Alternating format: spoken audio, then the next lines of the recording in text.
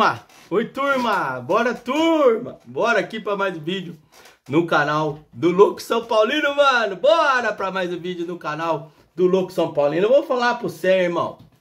Puta que pariu, que tá de gente agora me mandando vídeo, me falando isso e aquilo. Pelo amor de Deus, que bosta! Que São Paulo foi rebaixado em 1900. Não tinham falado isso. Eu, como é, o que que acontece, mano? Nesses últimos depois que o São Paulo ganhou a Copa do Brasil, veio o negócio da Supercopa. Ninguém ligava pra Supercopa. Aí agora, como o São Paulo já ganhou tudo, aí começaram a falar que a Supercopa vale muito. Ah, não ganhou tudo, falta Supercopa. Aí beleza. Aí o Santos caiu. Aí agora começaram a falar, já faz desde que o Santos caiu, faz uns quatro dias já. Desde que o Santos estava tentando quase rebaixado, tudo que o São Paulo caiu em 90, rebaixado, isso e aquilo. Ah, que o Raio Tele fala, ah, mano, o Raio Tele.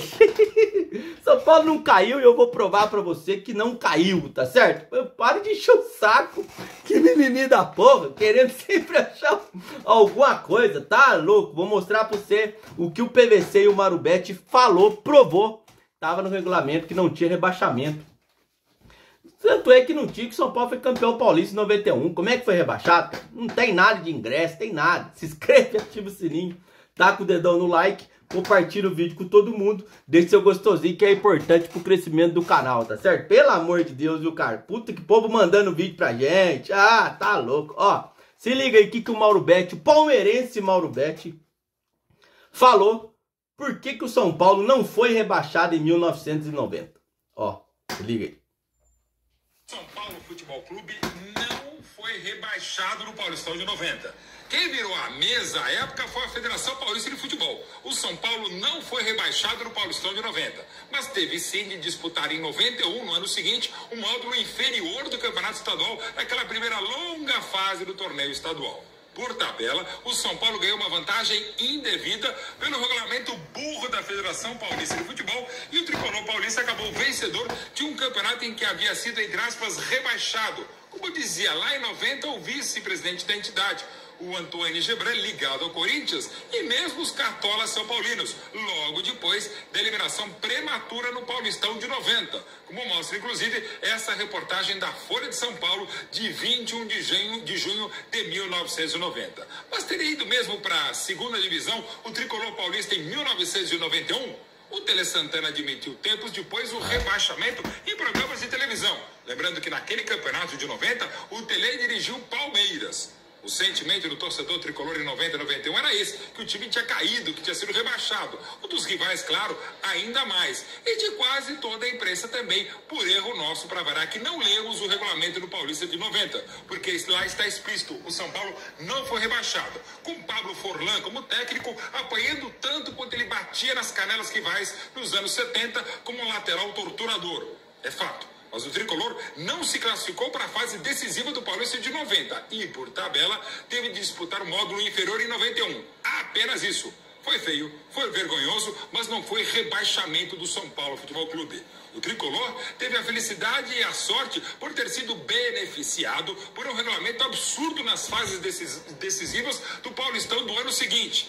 Em 1991, a Federação Paulista comparou bananas com laranjas e com a mesma complacência de alguns bananas de pijamas e cartolas. E o timaço do Tele Santana teve vantagem nos critérios de desempate no Paulistão contra os rivais nas fases decisivas de 91. Um erro crasso, mas não é uma virada de mesa. Não havia como ter, entre aspas, rebaixado no Paulistão de 90 o então campeão brasileiro de 1991, o São Paulo do Tele. Que questão de regulamento. E vamos a ele. O São Paulo e outros nove clubes que não se classificaram para a quarta fase do Paulistão de 1990 tiveram de disputar o módulo inferior do ano seguinte, 91, o que foi uma brilhante sacada regulamentar que desinflou aquele Paulistão de 91, repetida depois no Paulistão de 94, quando três anos depois o presidente da Federação Paulista, Eduardo José Fará, terminou a geniosa obra de deixar o campeonato estadual com apenas 16 clubes, rebaixando outros 32 que o aplaudiram e até aclamaram na reunião do Conselho Arbitral da Federação Paulista em 1994. Não sabendo aquilo que liam e não sabendo o que tinha acabado de aprovar, a própria queda de divisão, na canetada genial e maquiavélica do Fará. Mas isso depois eu explico do Paulista de 94 no próximo vídeo. Depois, no frigir das bolas a respeito do não rebaixamento tricolor em 90. O São Paulo começou o Paulistão do ano seguinte, em 91, na divisão inferior, mas não foi tecnicamente rebaixado o tricolor. Mais ou menos como acontecia a partir de 1980 na primeira divisão do Brasileirão.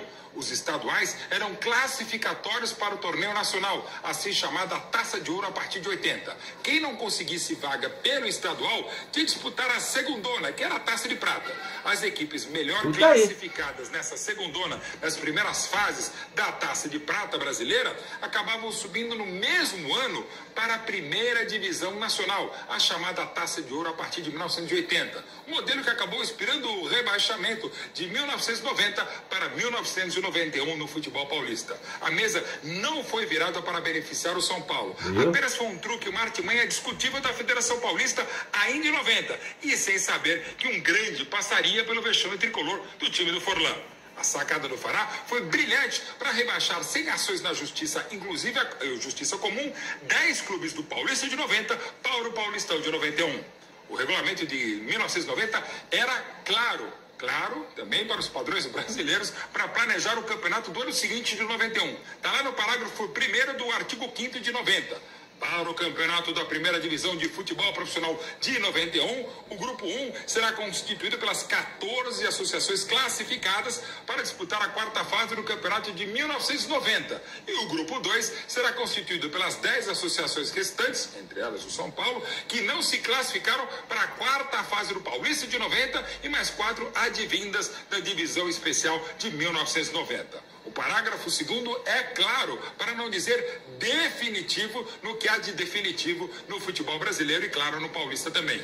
No campeonato da primeira divisão de futebol profissional de 1990, não, não haverá descenso à divisão especial de futebol profissional. Mas, a partir de 1991 ou a cada ano, haverá o descenso de uma associação da primeira divisão de futebol profissional Pronto. e o acesso de uma associação da divisão especial de futebol profissional, aspas fechadas do regulamento de 90. Viu? A tal divisão especial era um dos tantos eufemismos para designar, à época, o que de fato era a segunda divisão do futebol estadual, a segunda divisão do Paulista. Para evitar problemas jurídicos, a primeira divisão era um coração de de mãe de Cartola. Sempre cabia mais um voto, opa, mais um clube na tal primeira divisão, que era inchada mesmo. É isso. Não havia rebaixamento em 90 para São Paulo, Corinthians, Palmeiras, Santos ou qualquer outra equipe em 1990 no Paulistão, como já acontecera também em 89 no Paulista de 88. Ou seja, a virada de mesa foi do Fará e logo depois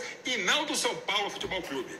O Paulista de 91 teve na prática quatro clubes a mais. E São Paulo campeão. Campeonato Paulista de 90. Mas a FPF, a Federação de Postos do Pará, já estava se preparando para o ataque final aos clubes menores, com a necessária racionalização da festa no interior paulista. No Paulistão de 92, o número de equipes que poderiam ser campeãs paulistas, campeãs estaduais, ainda era o mesmo, eram 28. Mas desta vez, seis equipes da divisão de elite, o Grupo 1, se juntavam apenas dois clubes do módulo inferior, e não os três de 91 para os quadrangulares, quadrangulares semifinais do Paulista de 92. Já no ano seguinte, 93, outra soprada no interior para dar uma mordida ainda tá maior no futuro próximo, que seria em 94. No grupo de elite, em vez de 14 clubes, eram 16 associações, e as seis melhores passavam para os quadrangulares semifinais do Paulista de 93. Continuavam 14 clubes no módulo inferior e apenas dois deles se classificavam para os quadrangulares semifinais do módulo inferior. O Paulistão de 93